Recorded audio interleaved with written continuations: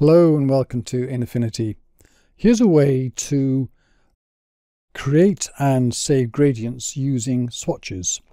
So what we do is say we want to put something like a pick up the colors in the gold here and build a gradient. You could just sample colors out of here. But another way to do it is if you go to swatches and then to the hamburger in the corner here and say create palette from document and we say document palette because we want it just held here, not shared with all other images. And here we've got then colors which come out from this.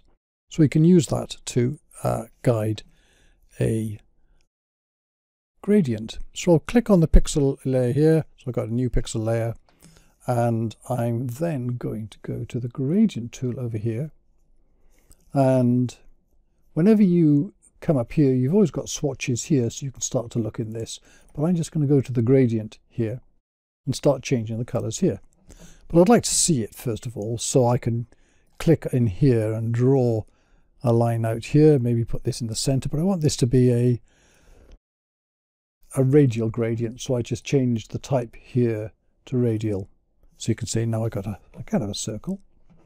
I can play around with that later but I can then start putting colors in. So I click on this here, go to the color, and down here, what I've got, normally might have this, I've also got down here swatches. And I can pick out the one I just created, and it's the file name dot .jpg, or in this case, but it's whatever your file name is. So I can, starting from one end, and I'm going to say, oh, let's use a, a brownish one at the middle. Then I'm going to click on another point up here and we'll have a not quite so brown one in there. And click on another one here. And where's another representative one coming down here? Maybe that one. And we'll click on a, a lighter one. And maybe one in here.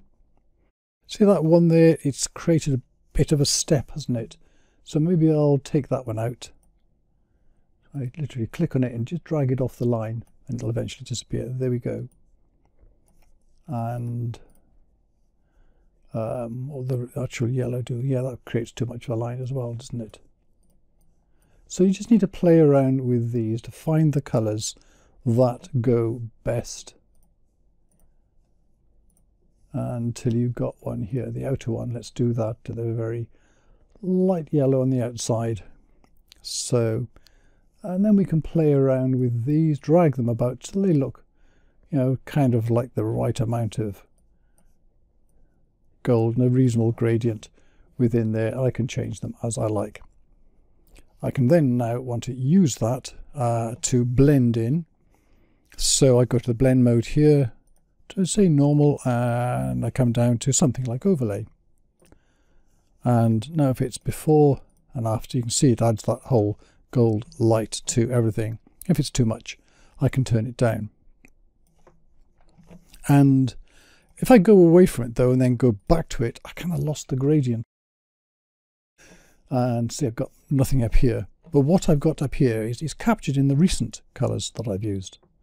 So what I do to do that, I want to add it, but if I click on the add here, it's only going to add this colour up here. So I want to get the, the that gradient into here. And to do that, I go to a paintbrush tool, then click on the recent, and that puts it up as a color here. Now when I click on the add here, if I go down to the bottom here, here it is, it's just added it. So I've now got, I've saved that gradient and I can reuse that gradient again in the future. So if I wanted to change this gradient, I can simply go to the gradient tool again go down here and go to the recents there. Or I could go down to the one here, so I come back another day and use it. And then I can redraw it. And here's that gradient I've got again that I created. So I've saved it and I re can reuse it. I can change the shape of it and whatever colors I want in it. So completely re-edit it. And this is on a pixel layer as opposed to normally if you want to go back and edit it within the same session, you have to use a vector layer. So this gives you a lot more power as well.